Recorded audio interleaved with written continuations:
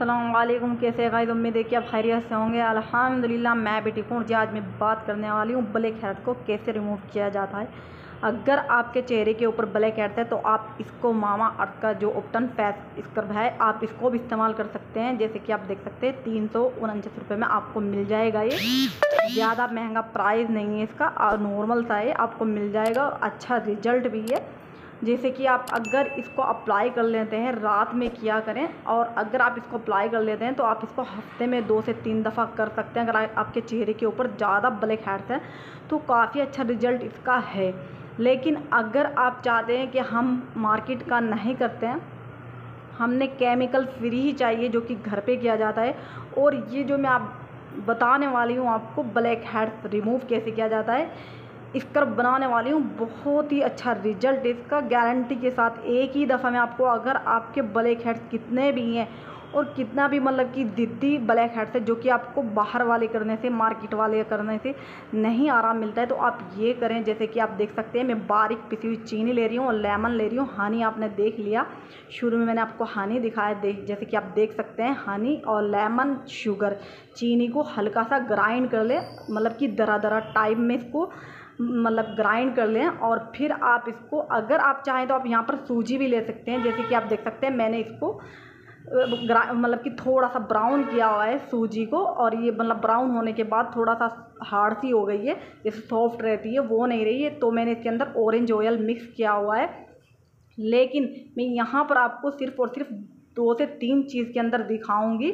हनी को एक स्पून आपने इसके अंदर डाल लेना है, शुगर के अंदर। आपने इसके अंदर वाटर बिल्कुल नहीं डालना है, सिर्फ़ और सिर्फ़ आपने इसके अंदर लेमन डालना है। लेमन इतना डालना है मतलब कि जूस कि ताकि ये अच्छे से घोल बन जाए। जैसे यहाँ मिक्सर हमको ने चाहिए होता है मिक्सर हमने ऐसे चाहिए होगा जी के, जैसे कि टाइट होता है लूज़ ना हो, ताकि हमारी स्किन के ऊपर लगने के बाद खिंचाव फील हो।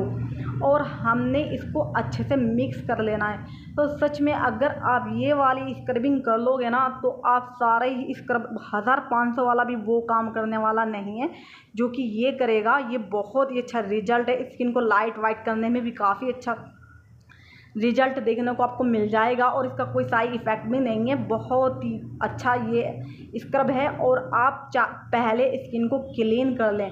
फेस वॉश जो भी आप करते हैं, मैं यही करती हूँ तो मैं आपको ये बता रही हूँ। बाकी आप जो भी स्क्रब करते हैं, ये मतलब फेस वॉश करते हैं, ये बेसन वैसन कुछ भी करते हैं तो अच्छे से अपनी स्किन को साफ़ कर लें। आपकी स्किन साफ़ होनी चाहिए। और ये जैसे कि स्क्रब को स्टीम लेना ज़रूरी होता है तो आप एक से दो मिनट के लिए स्टीम ले लें ताकि जो आपके ब्लैक हेड्स हैं, वो अच्छे से ओपन हो जाए, जो मतलब कि ओपन पोर्स हैं, वो खुल जाएँ अच्छे से। तो फिर आप इसको अप्लाई कर सकते हैं। जैसे कि मैं यहाँ पर आपको दिखा रही हूँ, आपने मोटी मोटी लेयर में इसको अप्लाई करना है और धीरे धीरे हाथ के साथ में आपको इसको अच्छे से मसाज टाइप करना है। अच्छा यहाँ पर आपने इसको स्क्रब की तरह ही स्क्रब करना है। नाजुक हाथों के साथ में करना है। आपने इसको यहाँ पर बिल्कुल भी टाइट हाथ के साथ नहीं करना है। और जैसे कि मैंने इसको लगाकर एक से दो मिनट के लिए छोड़ भी दिया है तो आप इसको छोड़ दें ऐसे फिर अच्छे से चेहरे को साफ़ कर लें वॉश कर लें।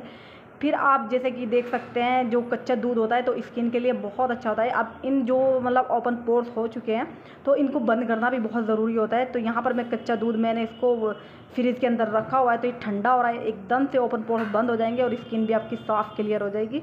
तो यहाँ पर आप देख सकते हैं, मैंने मतलब कि इसको अप्लाई कर दिया फुल चेहरे के ऊपर, पूरे फेस के ऊपर।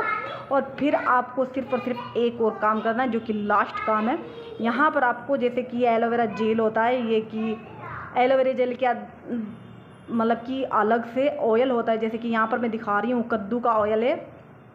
आप इसको भी अप्लाई कर सकते हैं जैसे कि अभी समर है गर्मी है तो ये ठंडा होता है कूलिंग होता है अच्छा होता है।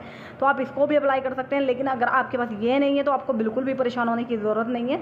तो यहाँ पर आप कोकोनट ऑयल यहाँ पर आप कोकोनट ऑयल लगा सकते हैं। मिलते हैं अगली वीडियो में तब तक के लिए बाय अल्लाह हाफिज़। अगर आपको कोई भी प्रॉब्लम है कोई भी समस्या तो आप मुझे कमेंट